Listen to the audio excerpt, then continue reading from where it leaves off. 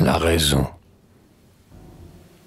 Le jour où la raison gouvernerait la terre, l'aube se lèverait au fond d'un ciel en deuil, l'océan de nos jours, n'ayant plus de mystère, sous chaque flot d'azur nous montrerait l'écueil. L'enfant songerait à la vieillesse austère, l'heure semblerait courte et proche le cercueil. Là des vaines amours, l'homme irait solitaire, en d'ingrat descendant ne prenant plus d'orgueil. Voyant toujours grandir les limites du monde, le savant suspendrait la poursuite profonde du mirage imposant qu'on nomme vérité.